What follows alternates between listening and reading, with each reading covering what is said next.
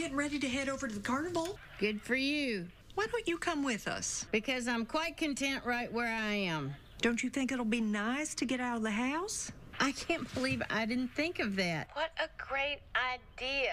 Thank you. So you're coming? No.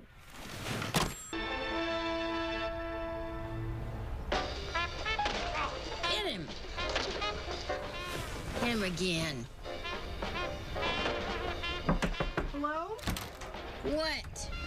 Have you been on the couch all day? No, for your information, I got up, put my slippers on, crossed the street, broke into your house, and stole your beer. Oh, But listen, if you've just come over here to badger me, please don't. fine.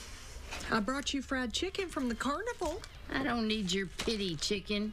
Look, I know you're having a tough time. I'm fine. Okay. Does that mean you'll still take Sheldon to Dr. Sturgis's class? No. But I'm fine.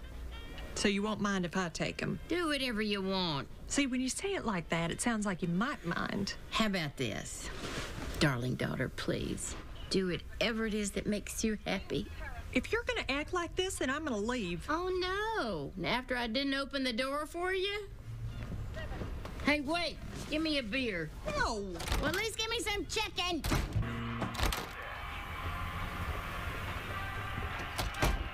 Got your beer? They give you any problem? No. Change. You keep it. Hey. I may be too drunk to drive, but I still can count to six. Relationships are a waste of time. Flying solo is the only way to go. Uh-huh. Do you think Tarzan was happy with Jane? No way. He was happy swinging through the trees. Uh-huh. The Statue of Liberty, she's got her book and her torch, and she's good. Uh-huh. Best thing is for you to just forget about this Veronica girl. Uh-huh. You should be playing the field just like a bumblebee going from flower to flower. Uh-huh. And don't get confused about all this love nonsense. Your freedom is the only thing that matters. Uh-huh.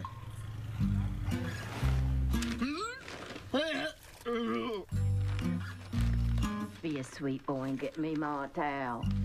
Uh-huh.